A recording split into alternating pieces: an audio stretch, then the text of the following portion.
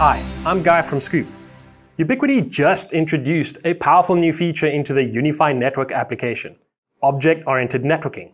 And the goal is simple, make IT easier, faster, and more flexible to manage while giving you enterprise-grade policy control. So what is object-oriented networking? In UniFi, objects are intended to simplify configuration for routing, firewalls, and quality of service. The idea is for you to create rules from the objects menu, which will then apply these policies for you across the various segments of your setup. What makes this cool is just how much time it'll save when working on larger networks.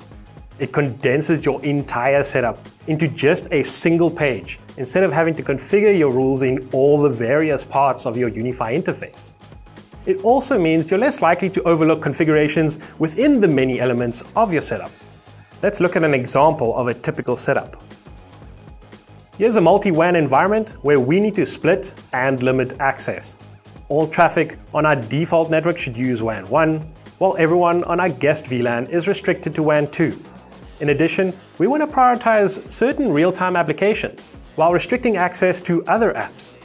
Also, we'd like to supply internet only to authorized devices. Let's see how it's done quick and easy with object networking. All configurations are done in the Settings and then Objects menu. Our first objective is to configure the default network. Let's start by prioritizing the default network and productivity apps while restricting others. Create a new object and name it. Select Networks and check your default network. Enable the Secure menu and in the Internet section, check App. Then select the apps you'd like to block. We're choosing TikTok and YouTube. The list of supported apps that Ubiquiti provides is quite extensive, so it would be easier to type the targeted app's name in the search bar to speed things along. At the time of recording, there's no app group or category support, but perhaps Ubiquiti will add something like this in a future update. In the same menu, check Domain and enter the domain for the apps. Then click Add for each. Now, enable the QoS menu, check App, and select the apps to be prioritized. For our example, we'll go with Google Meet and Microsoft Teams. Let's select WAN 1. Next, select Prioritize to give these apps priority click Add. Now, it's best practice to set a speed limit for the default network so as not to rely on the ISP's limitations, which could be unstable. To do so, you'll need to create a new object and configure it as such. Let's do that now and name it. Select Networks and check your default network. Enable the QoS menu, ensure that all traffic is checked, select Limit, and enable both download and upload limits. We've set ours to 50 megabits per second. Finally, click Add. That's the default network sorted. Our next task is to create the guest object and set the rules and limitations for it based on the requirements of our network. Let's route all guest traffic through WAN 2 and apply the relevant restrictions. Create a new object and name it. Select Networks and check the VLAN network you're applying the rules to. Enable the Secure menu and in the Internet section, select Allow List, check Everything, and set the schedule to Always.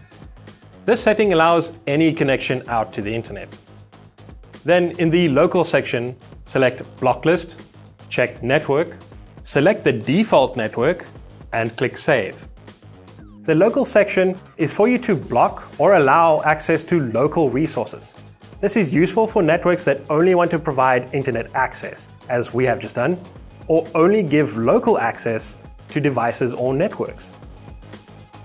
Next, enable the Route menu, check All Traffic, and select the WAN 2 interface. The kill switch option here means that if the WAN 2 goes down, the VLAN network will lose all internet access and not redirect to WAN 1 for connectivity. We're leaving it on because we don't want that failover in this example but in some cases, you may want to disable it so your guests can have internet access. Finally, enable the QoS menu, check all traffic, select WAN 2 as the outbound interface. Then select the limit option and set the throughput limits. We're setting it to 25 megabits per second for upload and download. We'll also set the download burst on both to short, so our users get a better experience while connected to the network. The long option here provides better client speed test results, but we value the user experience and reliability more. Perhaps you'll choose otherwise. Click Add and you're done. Now we can test whether the objectives were realized. You can do a ping test to confirm the domain blocking a trace route to ensure VLAN traffic is routed via WAN 2, and a speed test to confirm that your speed limit is active. UniFi's object-oriented networking tool automatically configures rules with the correct priority, eliminating the need for multiple interface adjustments seen in previous versions of UniFi Network. This makes setup much faster and simpler. Another awesome feature is the policy table. This offers a centralized view of rules with a host of filtering options and the ability to view or edit policies on the fly. This new feature really streamlines network management.